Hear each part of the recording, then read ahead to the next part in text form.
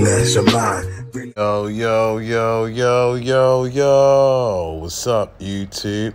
I'm back with another banger with y'all, man. If you're new to the channel, go that like button, subscribe, and go come. I have another uh, club video for you folks. And we're going to talk about one of the places I've never been to before. But I believe I've been past this place a few times, never went inside. Um, it's the club I never thought I would even go about going to. This is the way how the, the, type, the type of crowd it brings in. Now, I definitely heard from outside um, outside connections that, you know, I was, they was told that they mm, never really mess with it that much. We're going to talk about Club Charles today. And uh, Club Charles, Club Charles located in the Baltimore downtown area. Oh, you know, you know, it's usually on uh, with Charles Street or like somewhere downtown, and like not too far from uh, Lexington Market in this area. So, um, never got a chance to visit here. Like I said before, it's still like one of those antique uh, type of restaurant, tavern, cinema spots. Now I can tell you one thing, it, I know, like looking at this, it looks like a, a suit and tie, your fancy, typical tavern. Um, uh, eating, dining type of place, but it definitely had a lot of, uh, it hosts a lot of events, a lot of venues, a lot of uh, catering things. So, I, I, like I said, I never visit every club in the city, but I definitely heard about this place. Um, it's very noticeable. Been out, it been uh, been around since 1951. Had such a great run. A lot of people uh, reported this, and also a lot of news. A lot of people from the WJZ and W, all the different news people and celebrities have been up in this place a lot of big names have been up in this place, and uh, I can't even name just so many people, like the recognition that has got over the last 70 years.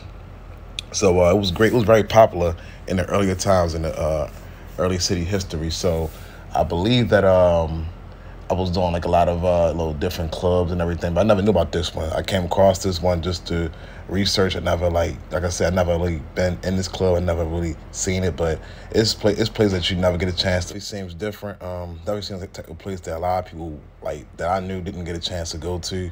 But uh, hopefully, uh, if I miss anything from this video, please hit, your, hit the comment section, share your experience with the Club Charles, because it, like I said before, it looks kind of different. Like I said, I've never been before, so this is another video that I'm giving to the world, and I'm doing this type of stuff. But uh, this is the outside, so like I said, I've definitely been through this area, but I've never been here, so this is pretty much how it looks now. It don't look the same how it looks from the inside, and it's kind of false. From it's kind of uh, false advertising, you ask me. But anyway, yeah, this is definitely the spot outside, um, right on Charles Street, as you see. Um, I, and I believe that uh, it reopened back up. So I know like in 2021 or 20, not a year or so ago, it had shut down for a little while. So they got a lot of things going on with this place. You know, first it's opened up, then it closed back down. It's about reopening back up. Like, I'm just gonna name, I'm just gonna title this video "The Rise and Fall of This Place," man. Because sometimes you, like, I want, I want like clubs open up, like uh, Hammerjacks open back up. I want places like uh, Odell's, man. And Odell's ain't going back up. And I also want like all the clubs we had before in the '90s and the 2000s. I just don't see it re- reviving it be just because the influence it has brought in trouble and influence that it brought to the city and to all the youth and to all the young people. So they're not gonna give us no chance to really have fun again. Because every time we go out and have a good time, there's always some there's always an issue going on. And they kind of hold that against us. And now everybody is not looking to have a, a bad time. You know, most people just had a long week of work. We want to, you know, relieve that stress, that relieve that relieve bad energy from we we have uh, endured from the week. So it's crazy, man. We only have, you know, it's, it's not how it used to be no more. Now I think about it too. So, man, what a what a situation that I thought about. But anyway, if you're new to the channel, go hit that like button, subscribe, go comment another club video for you folks.